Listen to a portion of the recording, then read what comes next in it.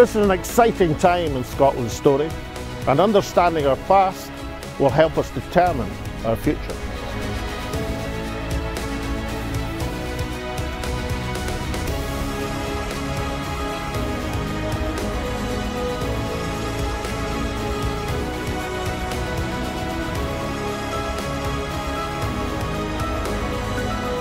And when Scotland's voice is heard, it charts the way forward.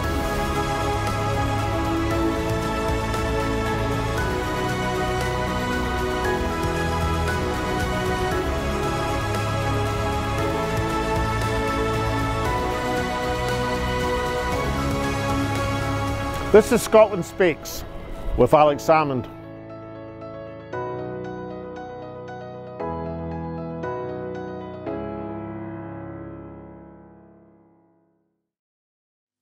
Welcome to Scotland Speaks with Alex Salmond. Today we have an in-depth discussion on the importance of a legal opinion. Sounds like pretty dry stuff? Well, it's not, because this opinion by Professor Robert McCorquodale could impact on the future of Scotland itself. And to discuss it, we're joined by the MP who commissioned it, Neale Hanvey, and Scotland's best qualified lawyer at Westminster, Joanna Cherry, KCMP. And later on in the show, we speak to independent journalist Ruth Wishart, who's also joined by the MP for Na h-Eileanan an Iar, Angus Brendan MacNeil. So over to Alex at Westminster.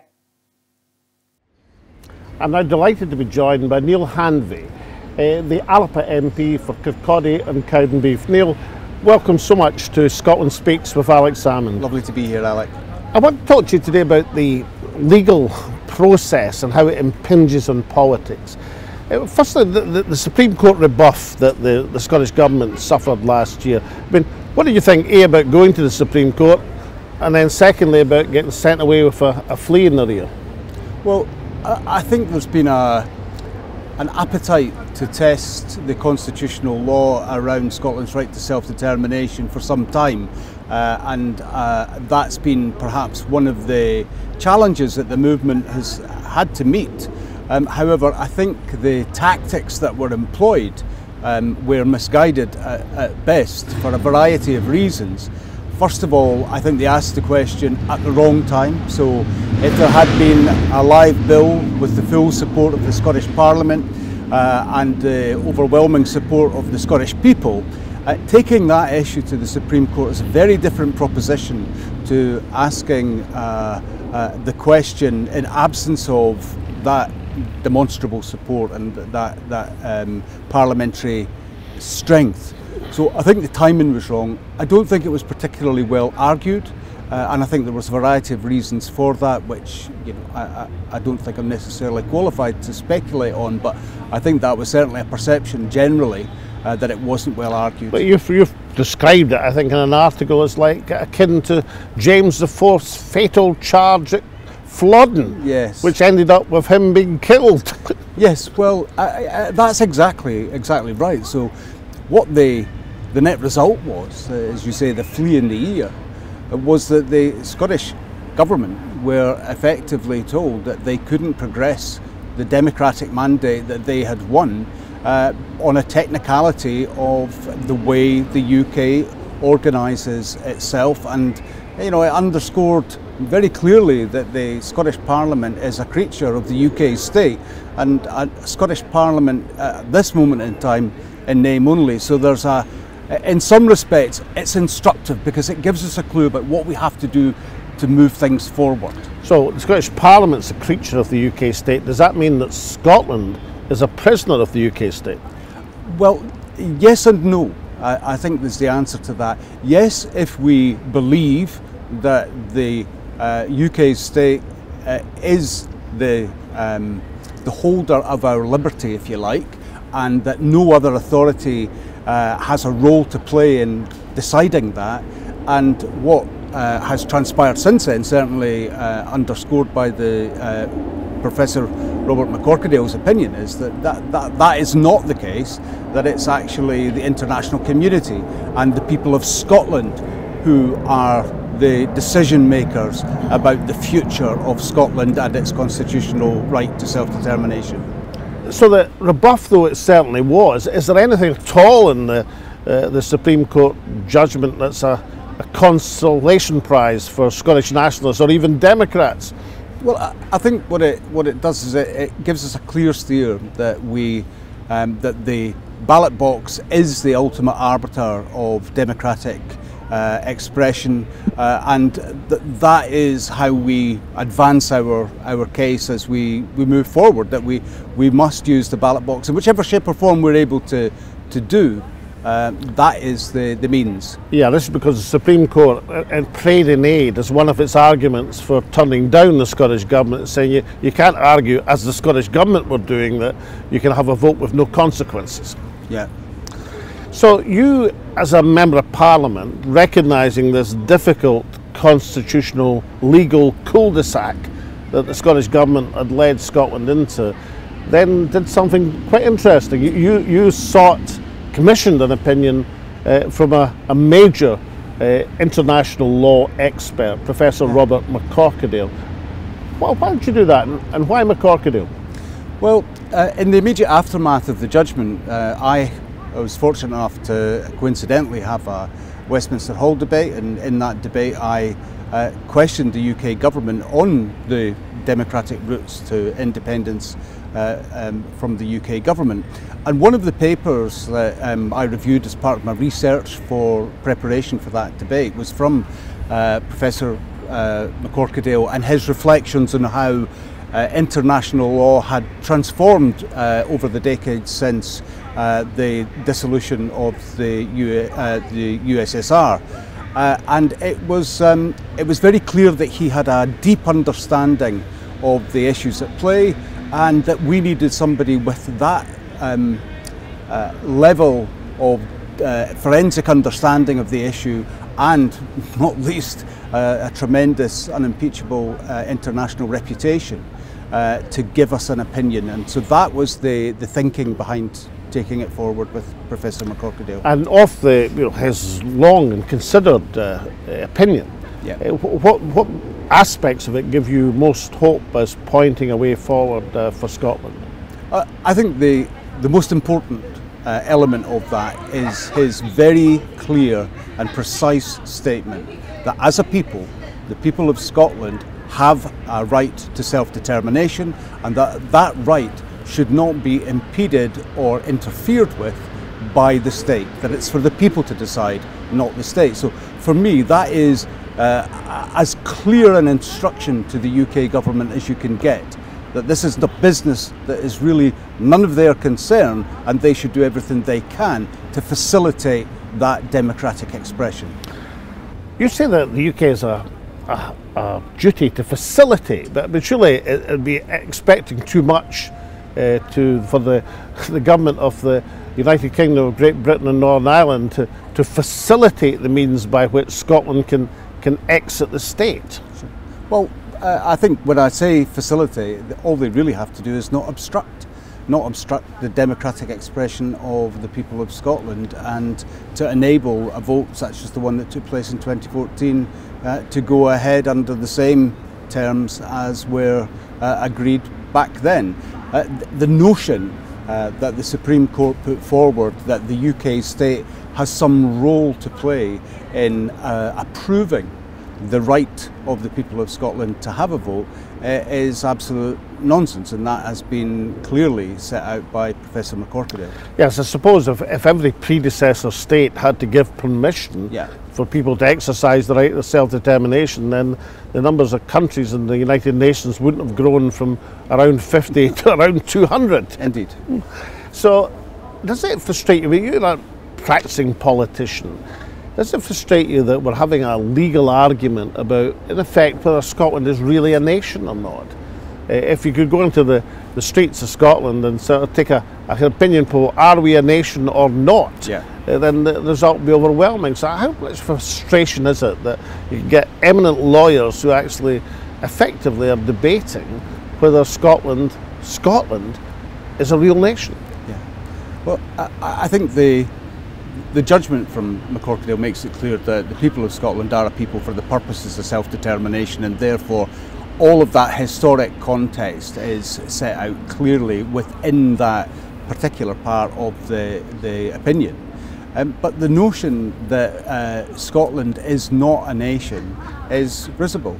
Uh, uh, and I think you're, you're absolutely spot on that no one in the right mind would accept that that is indeed the case.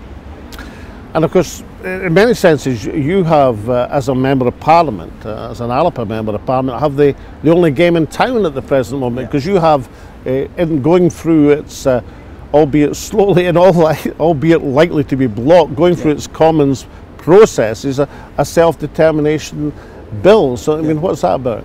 Well, uh, all it really does, I mean, it's a very short bill, it's very straightforward uh, in, in the facility that it provides Scotland uh, is uh, an equitable facility to the one that is afforded to the people of Ireland uh, to consider their constitutional future, that they would be able to hold a referendum if supported in a democratic vote once uh, every seven years, if it was supported every seven years, uh, a referendum on the constitutional future.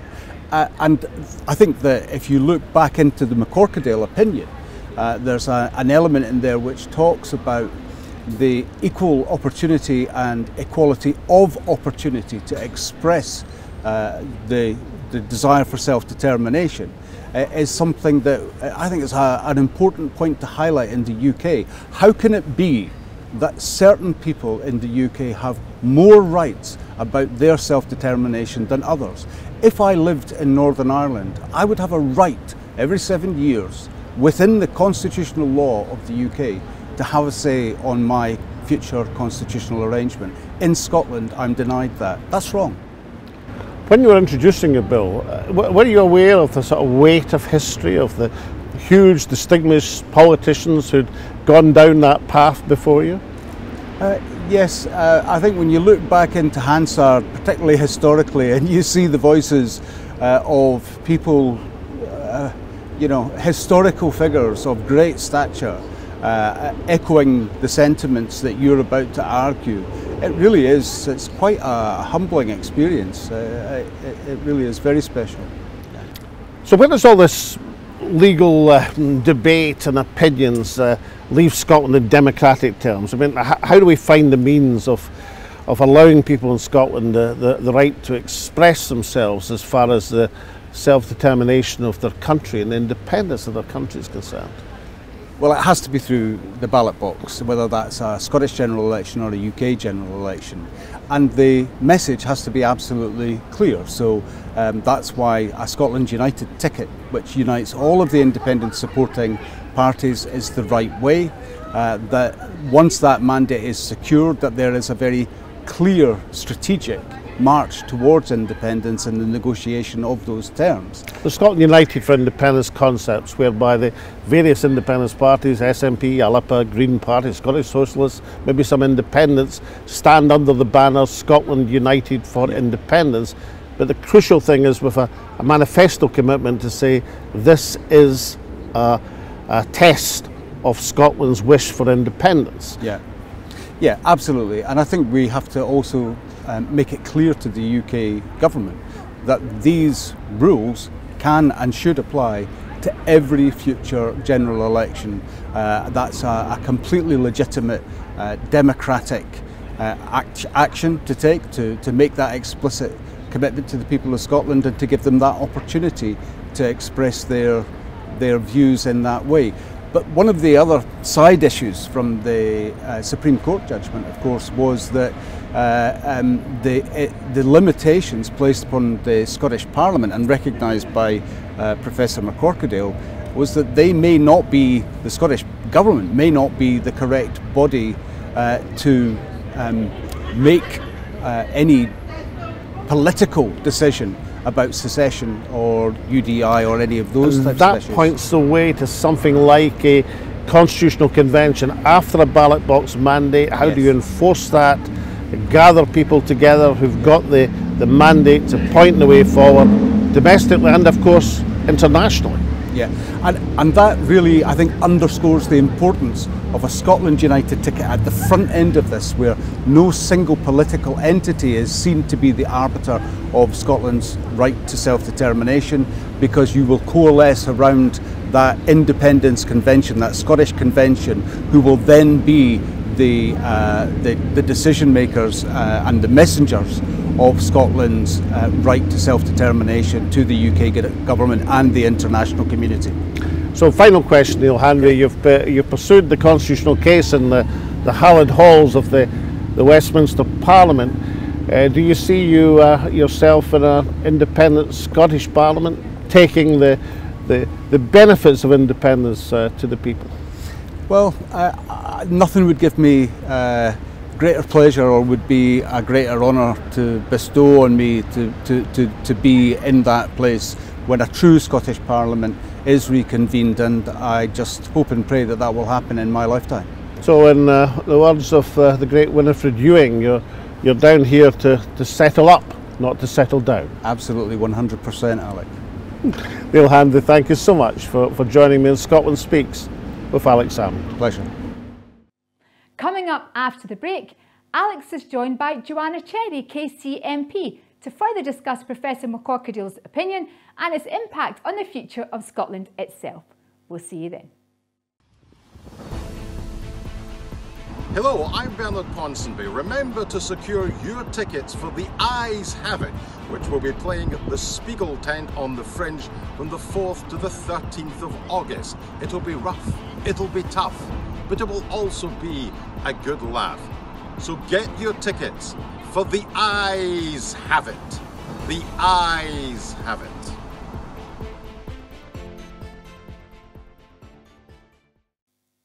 Welcome back. Alex is joined at Westminster by the MP for Edinburgh South West, Joanna Cherry KC. I'm now delighted to be joined by a distinguished KC in the, the House of Commons, Joanna Cherry, the Member of Parliament for Edinburgh South West. Joanna, welcome to Scotland Speaks with Alex Salmond. Thank you for having me. Now, you're a distinguished lawyer. Uh, you know more than most about the interaction between the law and politics. You laid the proud usurper low in the Supreme Court on Brexit. So, you know, tell us a bit about that and how the law can impinge on the political process.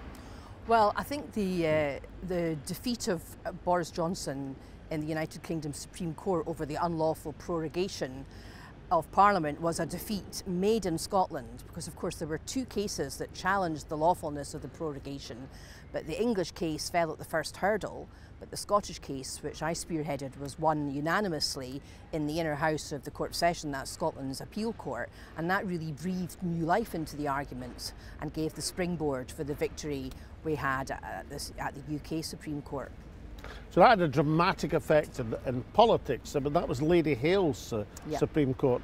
I mean, Lord Reid's Supreme Court hasn't been as kind to uh, uh, the Scottish argument. Well, I think Lady Hale's Supreme Court was rather more adventurous and expansionist on the constitutional front. The Supreme Court under Lord Reid is widely recognised as having retrenched somewhat and being rather more conservative with a small c. And that's not just my view, that's a view held by commentators on the right, like Jonathan Sumption, and commentators on the left, like Professor Conor Gearty of the London School of Economics. And just because uh, Lord Reid and his colleagues are, are frightened from the guns that are being trained on them by Downing Street? Well, I'd like to think that's not the answer.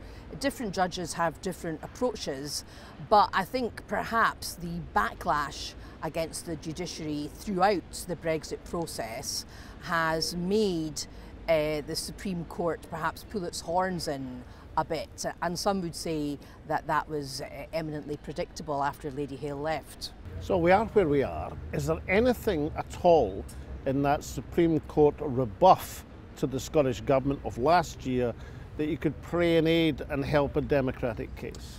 Well, two things. Um, part of the judgment, I think it's paragraph 81, uh, recognises the huge political significance that a democratic vote for independence would have. Now, it does so very much in the context of a lawful referendum. Um, but those who support a de facto referendum at an election might want to pray that in aid.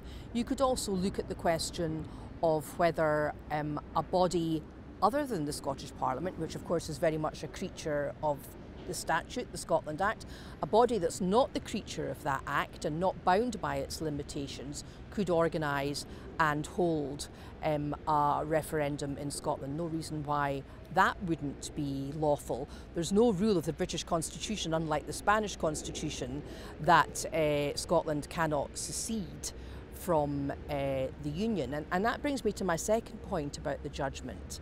Before the Supreme Court judgment, nobody seriously questioned that Scotland had the right to self determination. But there's rather a curious passage in the Supreme Court's judgment towards the end where they suggest that Scotland doesn't have the right to self determination.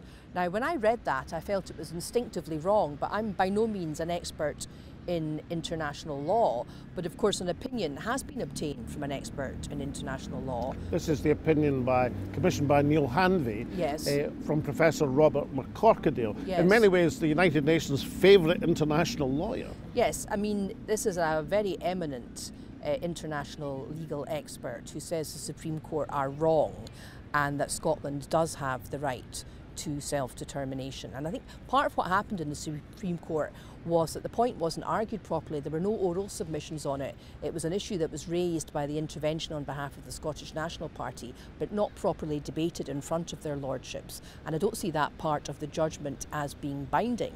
But I find uh, Professor McCorquodale's opinion very interesting. I think he correctly identifies that Scotland, like all the other nations of the world, as you might expect, has the right to self determination.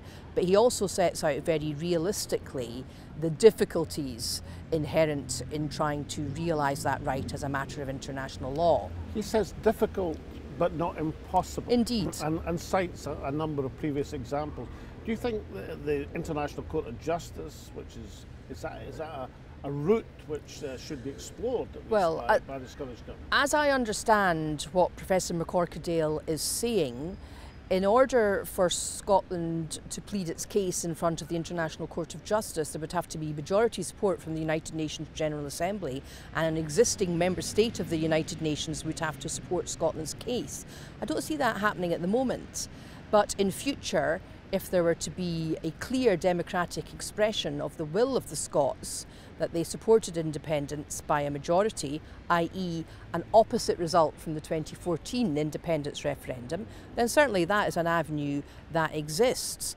Another interesting thing that uh, Professor McCorquodale says is he says that uh, to unilaterally declare, for a nation to unilaterally declare its independence is not unlawful but it needs to be underpinned again by a democratic vote. And again, here we come up against the difficulty that we had a vote against independence in 2014. We have to find a way to use the ballot box to uh, demonstrate that the weight of opinion has changed in Scotland and, the, and that a majority now support independence.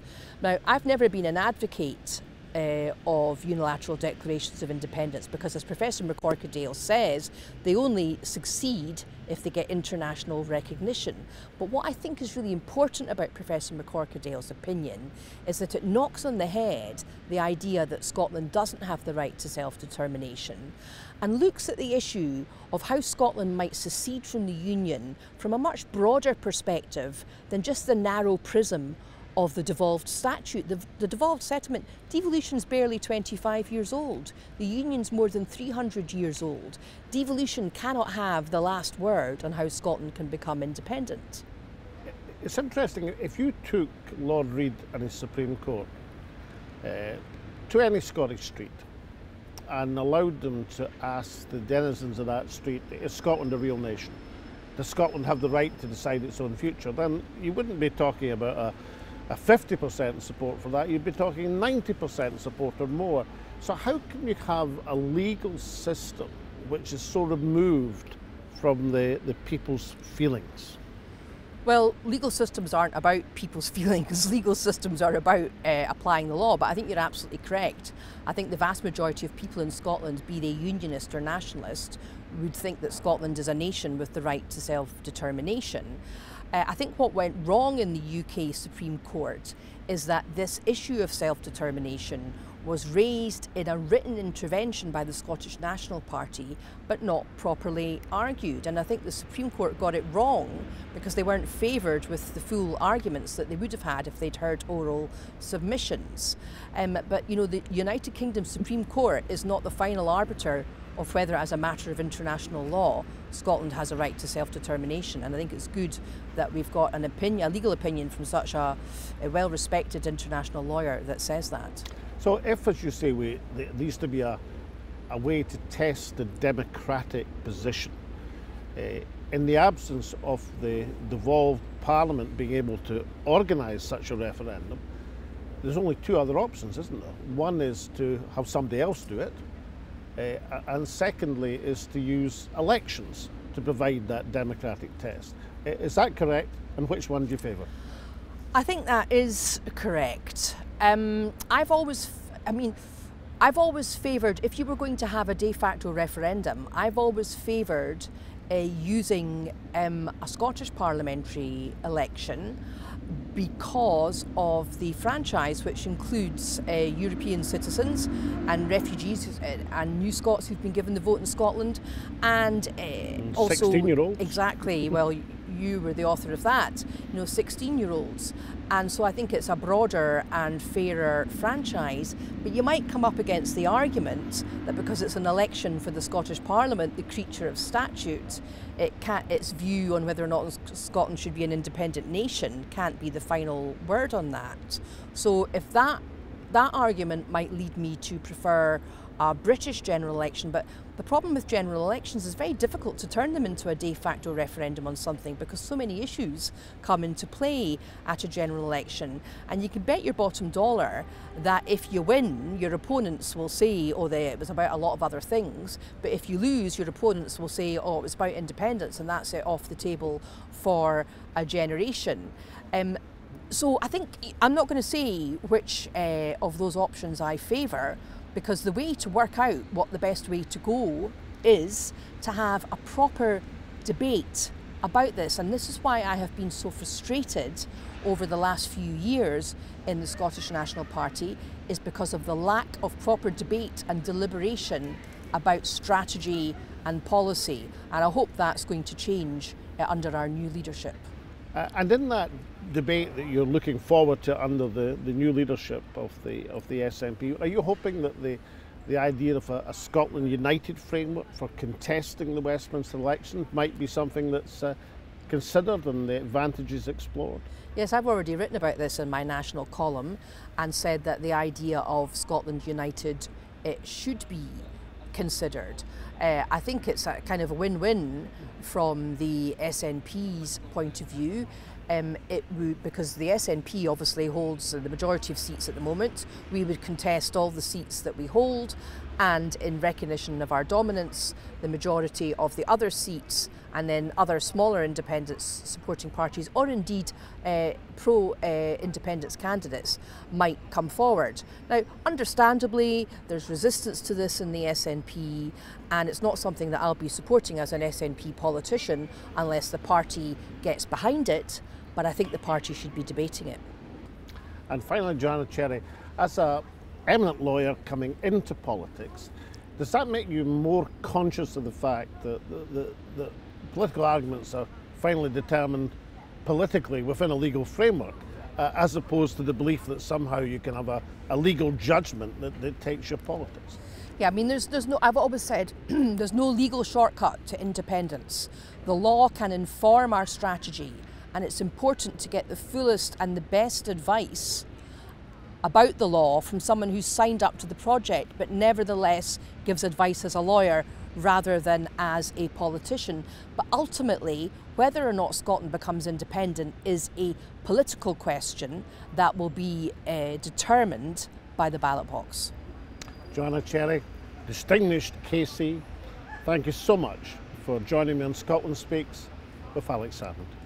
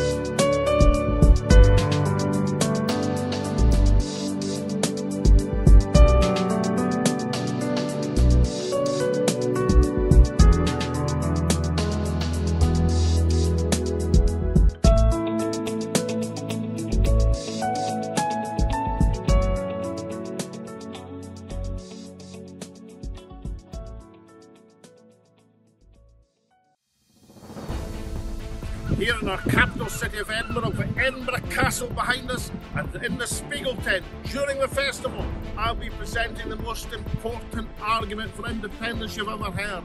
The final clinching argument. If you remember nothing else, then just remember this. Mr. Salmond, your time is up. You'll just have to buy a ticket.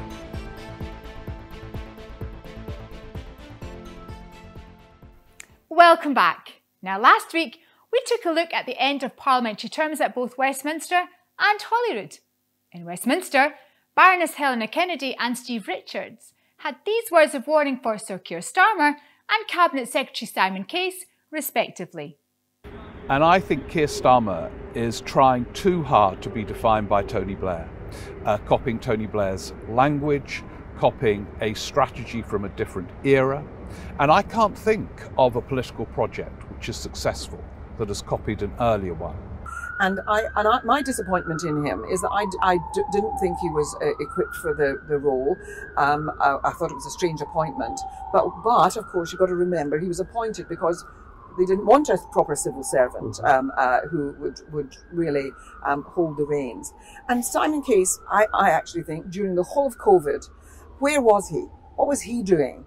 Why have we not had? I mean, Robin Butler. I think he attended parties. If well, I, I, and I think he, I think he probably did. And I think that he's a very lucky man that he too hasn't been fined and uh, and dealt with by the police. And from our Scottish correspondent, Paul Sinclair, had these words of warning for Labour and the Tories, and Fergus Mutch these words of warning for the SNP. I can't tell you what a Labour Scotland looks like. I certainly don't know what a Labour, a Conservative Scotland looks like. And I think um, the, there needs to be a much better offer from uh, the opposition parties than there is at the moment. You need to steady the ship in government. Um, but ultimately, if you want to affect change, you need to campaign for it. And the SNP hasn't done a hell of a lot of that. And now to your response to that show and the many messages, tweets, and emails you sent to us. First, Bobby Livingston says, as a son of the Shaws, it's great to hear Helena Kennedy articulate the deep concerns one has about the blistering attacks on democracy, and especially so those directed in Scotland's direction by Parliament we have utterly rejected. On Helena, Art Deco Lady says she's far too kind to Starmer. As long as he and Streeting are receiving money from private healthcare providers, they have no interest in bringing the NHS back under public control. Starmer is a neoliberal. I'm delighted to note this week that we have some followers and viewers from outside Scotland. Mauro Viani from Italy says, Scotland deserves home rule, nothing less, even if it might be considered little less than independence. New Zealand and other countries became fully independent in the British constitutional context, little by little through home rule laws. And then Abdul Ghaffar from Bangladesh says, excellent of last week's show. Christian says, another good show, and Mari says, another excellent show, really enjoyed it. Ian says, another excellent show by His Eckness. And Trish McPherson says, loved the section on Marie de Guise. I can see why our culture has been erased from our children's history and education. Can't have those unruly Scottish women knowing we've always had heroines to look to and inspire us as a force for good. Ain't that right, Trish? And thank you very much indeed for all your messages. Do keep writing in because we're very keen to hear your opinions on what we've covered so far and indeed get your ideas for what we could cover in shows in the future. But now we are over to Alex and his favourite part of the show, Scotland's Hidden Heroes in association with iScot magazine.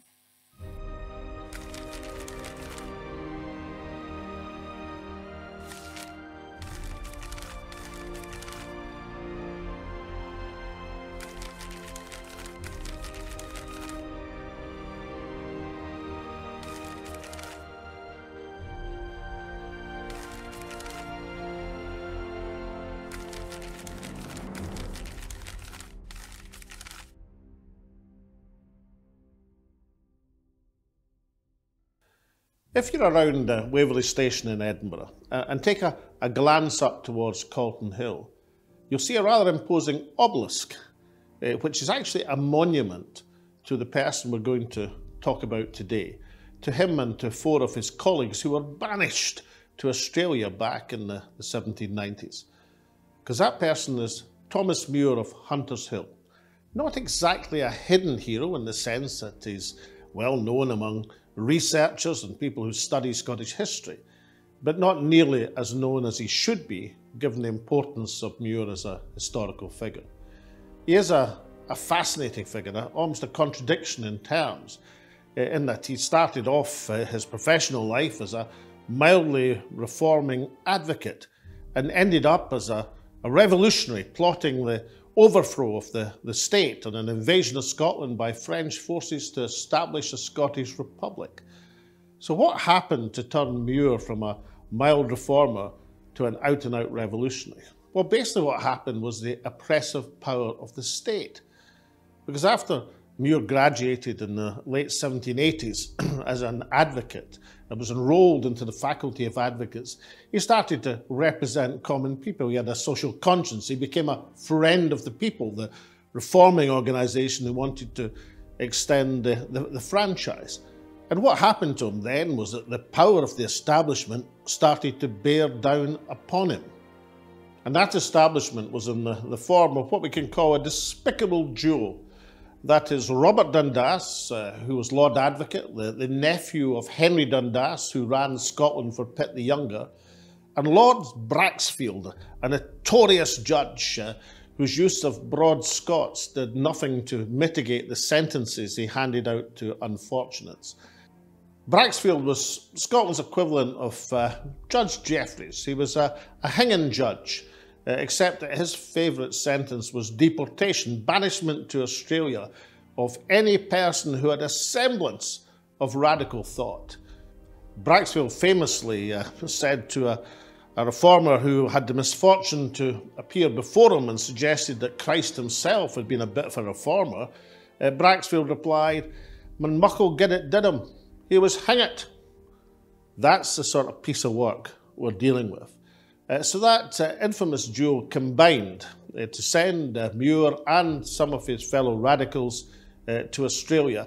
It was a case that provoked substantial controversy. People could sense there was a huge injustice being done. Robert Burns in Ayrshire, writing Scots Wha Hae, noted that uh, the, the poem referred to things ancient and things much more recent, referring on to the Muir trial. So Muir ended up in Australia, and there the story might have ended. His fellow radicals who were similarly banished and died of disease or were lost to, to history and posterity. Uh, but Muir was made of uh, sterner stuff. He, he, managed to get on a, an American ship. He escaped from uh, Botany Bay. He ended up in California. He went from California to Mexico to Cuba. He was all the time trying to get back to Scotland. His uh, boat back to Spain was intercepted by a British uh, frigate. Half his face was uh, uh blown off. Uh, and yet, by one means or another, because he was admired by many people, the person, Thomas Muir, who had become the most wanted man in the world, sought everywhere by the, the British forces, uh, somehow contrived to get to revolutionary France, where he was greeted as a hero of the revolution. He had the equivalent of a ticker tape parade through the, the streets of Paris uh, as they uh, celebrated this radical Scotsman. Uh, Amur, by this time, and given his experiences, hardly surprisingly, uh, a thoroughgoing, full scale revolutionary, spent his last days in France in Chantilly plotting the overthrow of the British government and the establishment of a Scottish Republic, because by then, due to repression and the fear, of course, of the Napoleonic Wars, uh, then the Friends of the People had turned into United Scotsmen. Muir's uh, story could, uh, could grace any book, and an excellent book has recently been written by, by Murray Armstrong. But it could also be the most amazing film, an amazing feature. His story should be on the lips of every young Scot who wants to admire somebody of bravery, of diligence, of conscience, and also who was very thrawn because it was his thrownness that turned him from a mild reformer into an out and out revolutionary. That and the oppression of the establishment. So, what's the lessons that Muir teaches? Sometimes he's called the father of Scottish democracy. He certainly had an influence in future events because the obelisk, which I referred to, was erected 50 years later. When people looked to Muir and the radicals of the 1790s for inspiration in the battles which were then to come, uh, for the franchise, for democracy, for representation. Only recently, Muir's name was restored to the, the roll of the Faculty of Advocates thanks to the work of uh, uh, Ross Macfarlane, KC, and uh, admitted back by the then Dean of the, the Faculty, Gordon Jackson. A remarkable period of time. Of course, Muir's been long dead and won't be able to practice, but nonetheless, uh, historic injustice was corrected. But Muir's wish and belief for emancipation, for representation, for Scottish nationalism, which was also one of his guiding stars, stands him out in the 18th century as one of the, the great figures of Scottish history. A hero whose uh, light has been hidden under a bushel, but a hero whose name should be on the lips of every young Scot. So let's leave the, the very last words to those of Muir himself. I've devoted myself to the cause of the people. It is a good cause. It shall ultimately prevail. It shall finally triumph. And so it shall.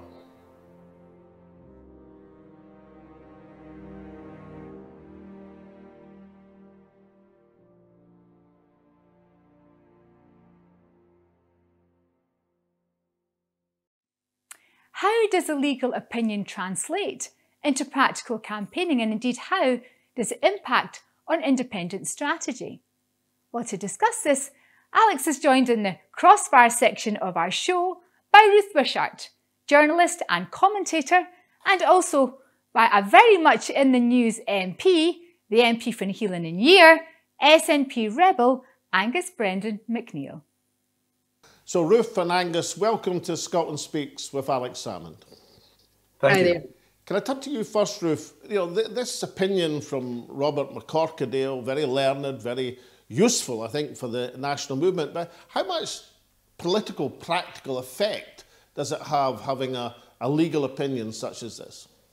Well, I think it's very useful that somebody of his stature would have um, pointed the finger at the Supreme Court and suggested that they got it wrong in their judgment. I mean, that's always good to hear. But in terms of a practical effect, I can't see it's going to make one blind bit of difference. I mean, the one thing I've learned over the years is that if you keep um, you know, keep begging for a Section 30 order on bended knee, all you get is very sore knees. Angus MacNeil, what about your opinion of the McCorquodale opinion? I mean, I think uh, the practical effect depends on how it's deployed, and uh, you know that then goes into the realms of political argument. Uh, and I think it's good to have up your sleeve. It's a very useful thing, and as Ruth said, uh, it shows that the the Supreme Court of the UK isn't divinely ordained. Uh, it's a collection of people, yes, very learned, uh, but over and above that, I think probably as Ruth ultimately says, it depends if argument falls in and around where the Supreme Court is. Um, and I would say, you know, the Supreme Court said what it said, but it also said something very interesting in its own in its own judgment in paragraph 81.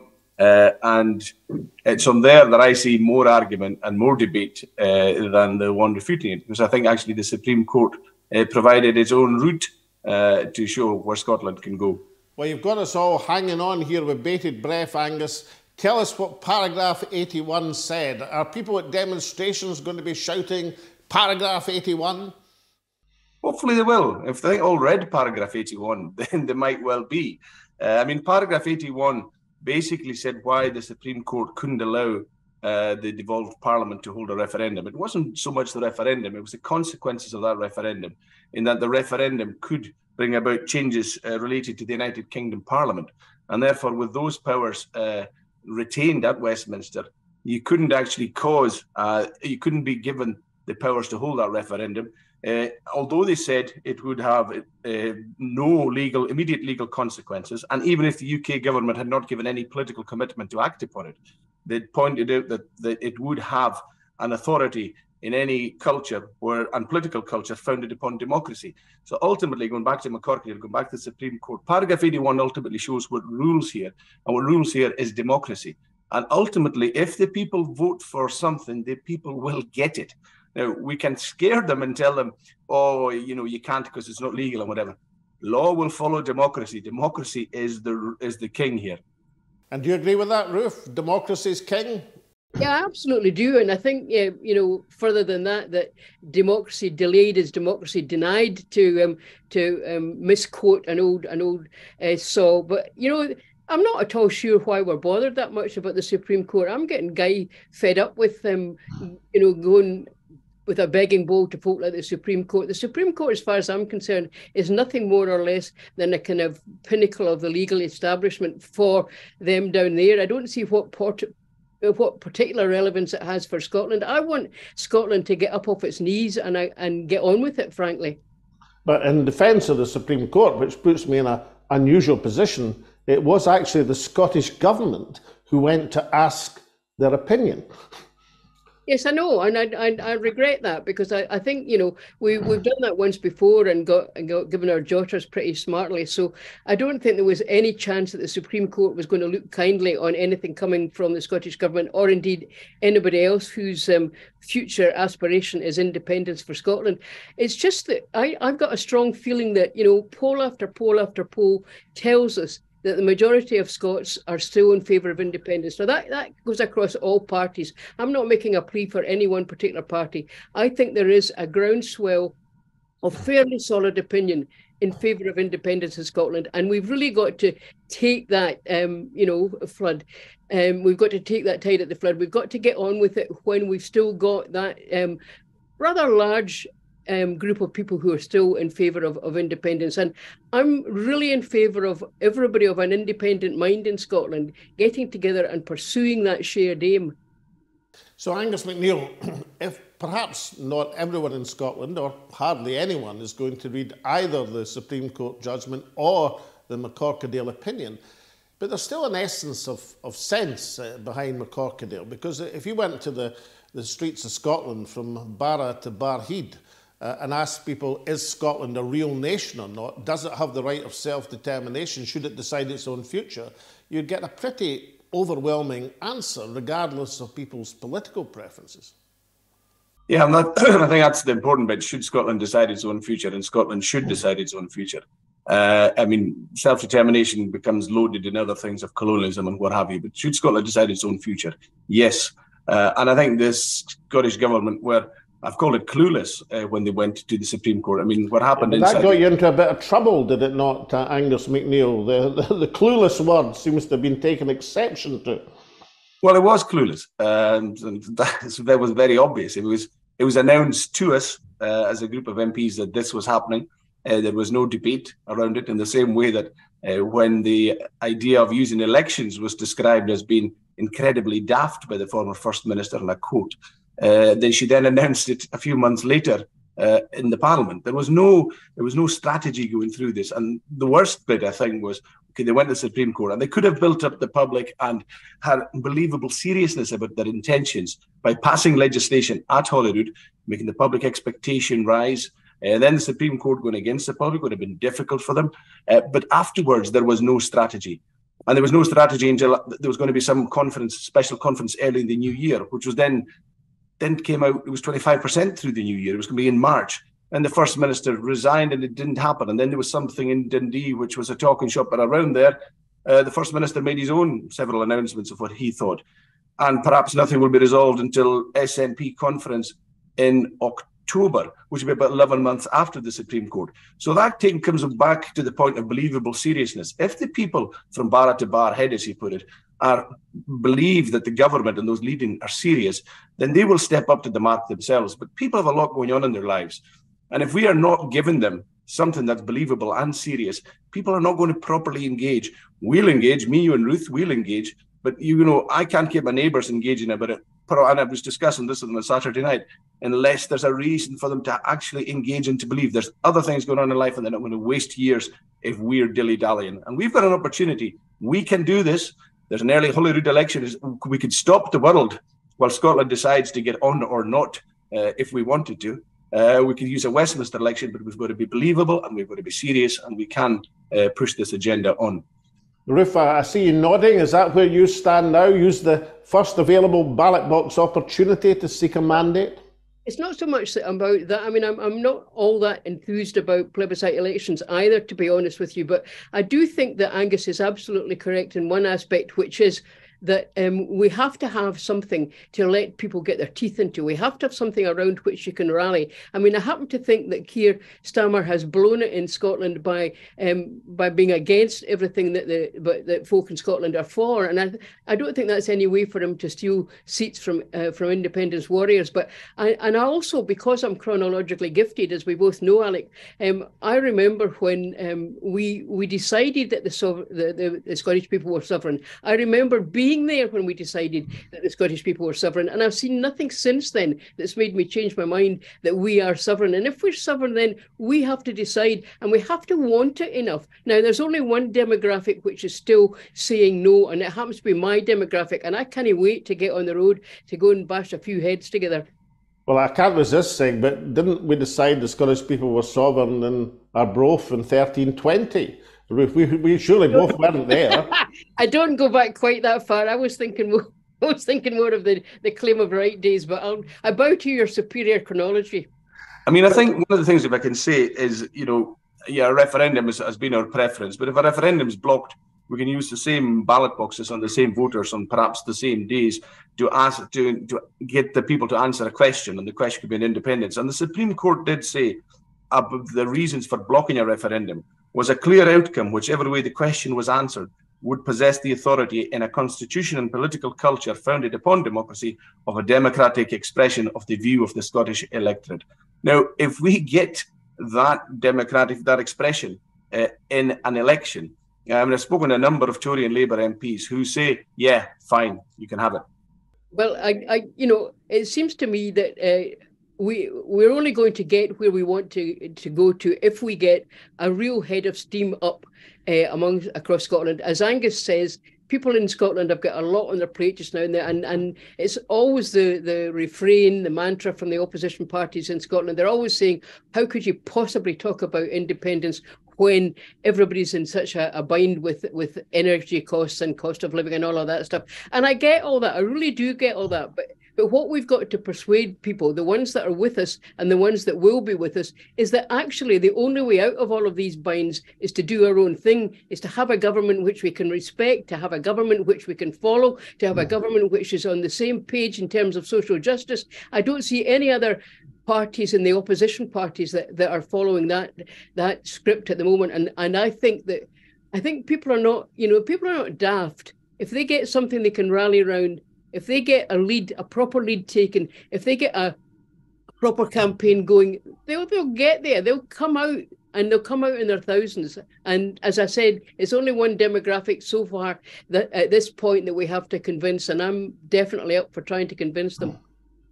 So let's take us to a situation where the Scottish uh, government, the parties of independence, singly or collectively, have appealed for a mandate to negotiate independence and are trying to rally support behind that concept. How, how best would that be done to enforce a, a mandate or, uh, expressing Scotland's uh, sovereignty, Angus MacNeil?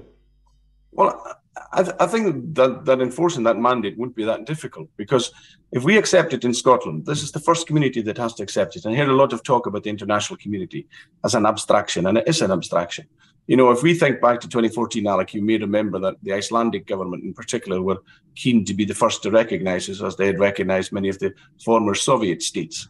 Um, but we were at the time talking, I think it was me, you, and Angus Robertson, who talked about the UK government should get that honour first uh, from Westminster. But once we recognise it, there is not a Democrat anywhere or anybody inside democratic culture who isn't going to recognise it. So we, we then march on from there. I mean, there's there are some in our in our organisation or in our in our uh, movement who say, "Yeah, I believe in Scotland's right to self determination, but only if Westminster agrees." Now, it's it's really getting carts and horses in an awful tangle. Westminster will agree, and I've spoken to enough of them. And actually, Rishi Sunak, I've asked him personally at the liaison committee, and I think one of the journalists at STV asked him as well. You know, if the Scottish people were to vote for independence at the uh, at an election or any ballot box event, would you oppose it? And he pointedly ref- dodged saying he would oppose it. He, of course, tried to give some succor to those who said, oh, it's very difficult, so don't try. And the reason that there's that he wouldn't give a Section 30 for a referendum is because he doesn't want the answers to the question and he can block the question. But if the question is ever answered and we put the question, he won't block the answer then. He'll block, might block the question now, but he won't block the answer then, and nobody will. The only people who might have trouble with it are those of the of the sort of uh, views of Putin and Lukashenko, those who don't believe in the ballot box. But for the rest of civilized democratic world, it will be fine, and Scotland will move on from that point. Is that a reasonable summary, Ruth Wishart? That, that, to misquote an English poet, that the, the fate lies not in the stars or Westminster, but actually in ourselves? I think that's absolutely the case. I mean, it's it's democracy is the key, as Angus says. Democracy and and Democrats are the key to wh- where we're all trying to get to it's been clear for a long time, I think, that um, there's a democratic deficit in Scotland. And this is not grievance politics. I mean, it's, it's awfully easy for folk to say, oh, there they go again. It's just more grievance. Everything is Westminster's fault. No, everything is not Westminster's fault. A lot of it is our fault. We have to have the bottle, the spine, the backbone, and the determination to go to the destination we want what is stopping Scottish independence at the moment isn't actually Westminster. It's the MSPs at Holyrood who haven't got themselves together uh, to, put, to put a motion either in majority or two thirds uh, to give an early election on independence. And that could have happened after the Supreme Court. And that was quickly quashed wrongly and misleadingly by the former First Minister when she said the only way to do that was through the resignation of the First Minister. And then it risked wrongly again that uh, Douglas Ross could become First Minister. It can be done with two thirds, or it can be done by changing the two thirds rule to a simple majority. Um, so, you know, Ruth is absolutely correct.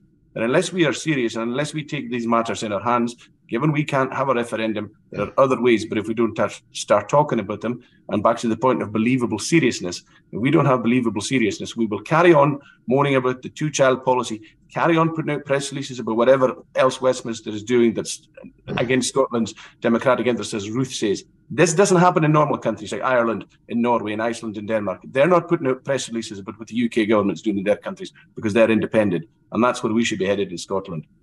Finally, Ruth Wishart, uh, you mentioned earlier you and I should have a campaign to, to persuade our demographic, let's put it that way, that they should rally behind independence cause. Uh, and you're quite right, of course, that has been the section of the community most resistant to the independence message. Have you any formula for, for achieving that conversion, Ruth? Well, it's not so much a formula, I think, as as a, a, the underpinnings of a proper campaign. One of the things that my demographic, I think, um, and my demographic is thanks for the thought, Alec, but my demographic's uh, a bit senior to yours. It's I think what we have to do is persuade them that their very real concerns are not well founded. I mean, it's it's perfectly fair for people on fixed incomes, and that fixed income is a, a, a really impoverished pension. It's perfectly fair for them to say, hang on, I need to be sure because I haven't got much of an income anyway, and I need to be sure it's safe. That's absolutely fair. It's absolutely fair for people to say, oh, hang on, how much food do we get from down south? Will I still be able to feed my family? That is perfectly fair as well. We have to address these issues head on. We have to do the research, do the hard yards, and address these issues and give people proper answers and, and give people proper, you know, just give them uh, a, a, bit of uh, an indication that we've done the, our homework on this. So far, I think the people who've done the homework haven't been the Scottish Government. Lots of people have done lots of hard work we've got to um, get together, we've got to hammer out um, the answers to these very, very pertinent questions which people are entitled to ask. And then we go on the road and we say, no, don't worry, because if you want a more socially just, more equitable, better future, it has to be an independent Scotland. Ruth Wishart, independent journalist, and Angus Brendan MacNeil, independent member of Parliament. Thank you so much for joining me on Scotland Speaks with Alex Salmond. Thanks, Alex. Hi, I'm Joanna Cherry, the Scottish National Party Member of Parliament for Edinburgh South West. I like a good debate and I like to win. So if you want to see me help Alex Salmond's team you give David Davis' team the sort of trouncing I gave Boris Johnson at the UK Supreme Court, then come along to the Ayes Have It, the Ayes Have It. We're going to be on at the Edinburgh Festival Fringe at the Spiegel Tent from the 4th of August to the 13th.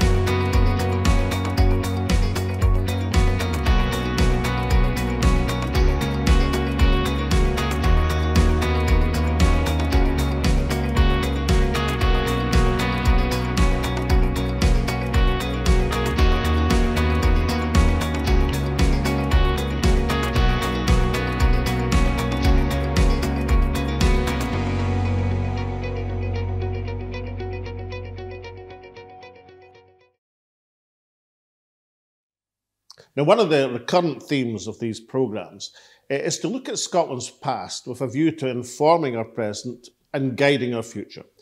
So when we come to a debate on Scotland's constitution, Scottish sovereignty, legal opinion, Scotland's right to decide, where better to look than the, the fountainhead of Scottish sovereignty, of constitutional thought, the Declaration of Arbroath of, of 1320.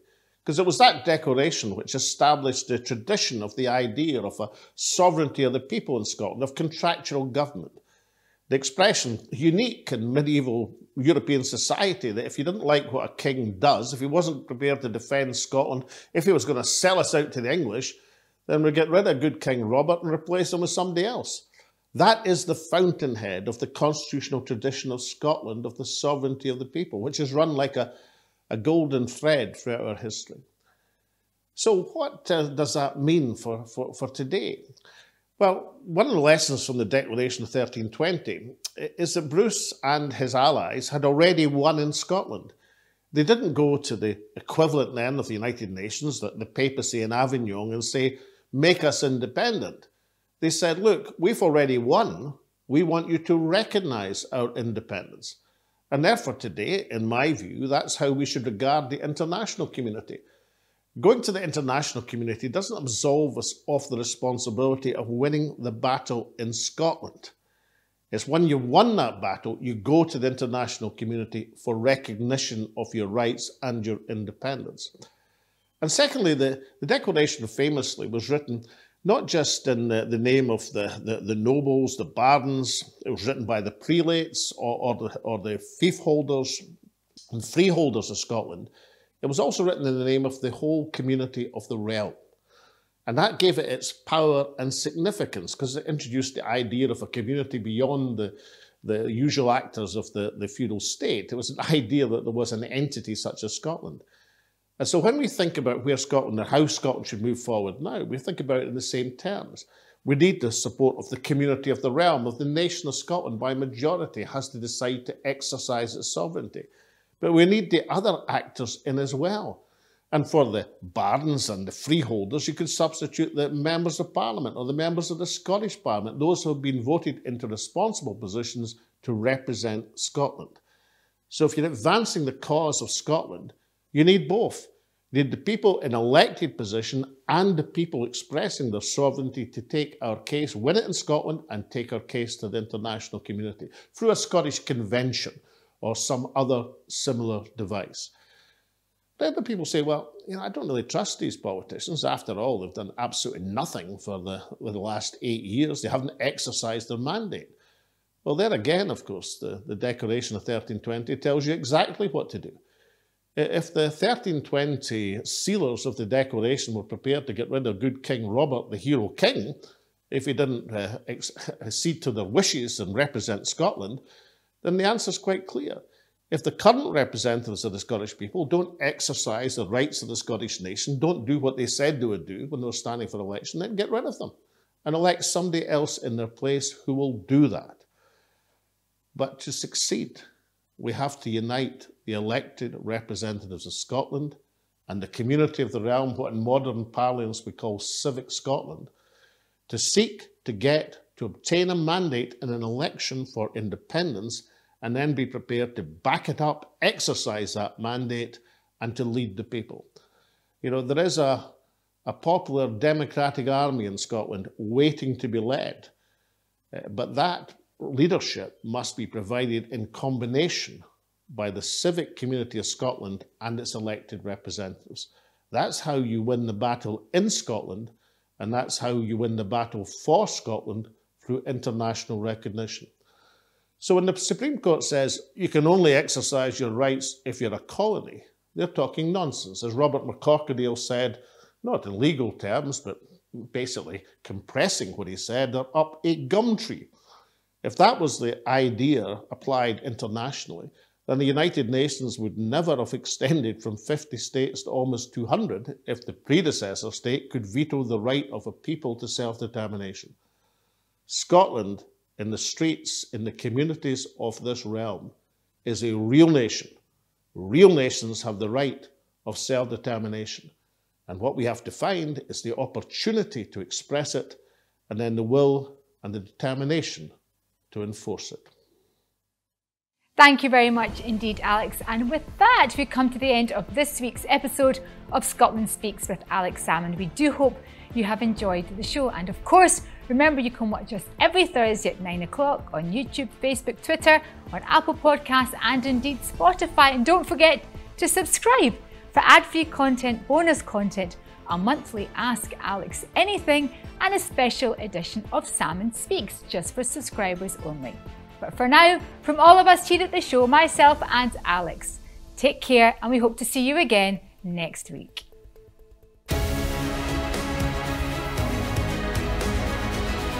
This is an exciting time in Scotland's story, and understanding our past will help us determine our future.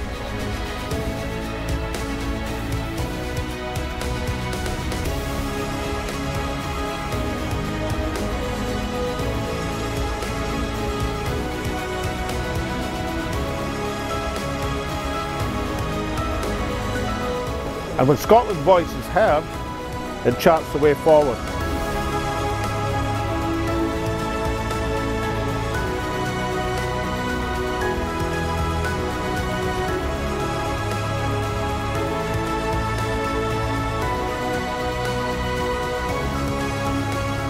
This is Scotland Speaks with Alex Salmond.